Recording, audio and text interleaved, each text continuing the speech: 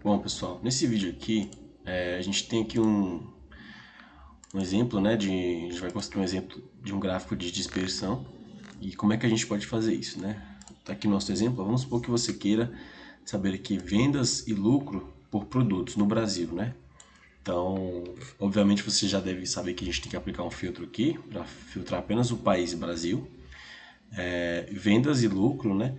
A gente vai definir essas métricas aqui é, nos, nas nossas linhas e colunas, certo? Então, por exemplo, é, a gente pode arrastar aqui vendas, né, para linhas. Então, você vê que o tabuleiro já mostra uma visualização que ele acha mais plausível. E uh, lucro né, para colunas. Então ele já cria aqui ó, um gráfico, né, um gráfico de dispersão. Então quando tem temos duas variáveis aí numéricas, geralmente um gráfico de dispersão é o melhor para visualizar isso. Né? Por exemplo, que ele, até é, também mostra aqui um gráfico de barras, né, que também é possivelmente uma visualização para essas duas, esses dois valores de medida. Uh, mas no nosso caso aqui, dispersão. Bom, então a gente temos aqui vendas e lucros por produtos no Brasil. Vamos filtrar, né? Para o Brasil. Então, país.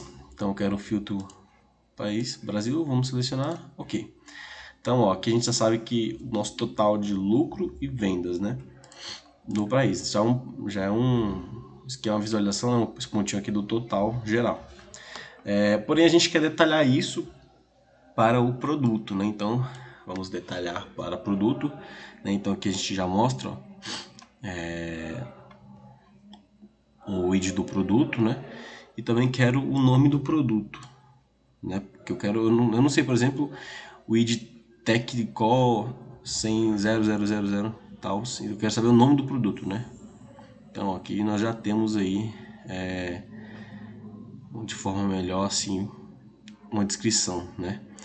E ó, tá vendo que, que acima, né, são os que deram lucro e abaixo desse desse eixo aqui o zero é os que deram lucro negativo, né? Prejuízo, por assim dizer.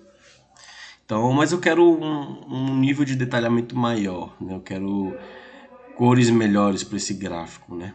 Então, nós já sabemos fazer isso, né? Nossa porcentagem de lucro aqui em cores, né?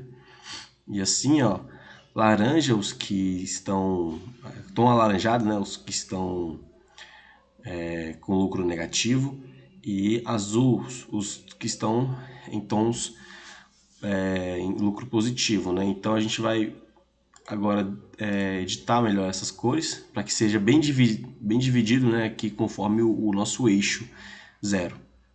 Então início e fim, né? O início vai dar ser menos 0,5 e o fim 0,5. A gente centraliza no zero, né? Neutro. Então a gente aplica e assim a gente tem uma visualização melhor, né? Então você pode, por exemplo, selecionar apenas, né? Ó, selecionar aqui apenas as, as que tiveram lucro, por exemplo, né? Ó, manter apenas. Então, quem ainda selecionou um pouquinho, né? a gente pode selecionar ainda mais, né? Aqui, ó vão ter apenas esses aqui que tiveram lucro, né? Então, de certa forma aqui é bom para tomada de decisão, para ajudar melhor na hora de porque ó, tem um, temos um valor aqui bem acima do, do comum, né? Um, um, lucro bem maior. Então, dessa forma, é, a gente pode ver que fica de uma forma melhor para visualizar no gráfico de dispersão, né? Então é isso, né? É vendas por produto, né?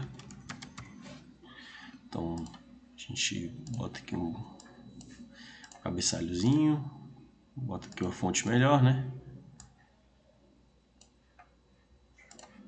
A gente aplica e dá um OK. Então esse é nosso gráfico de dispersão. Beleza, pessoal? Até a próxima.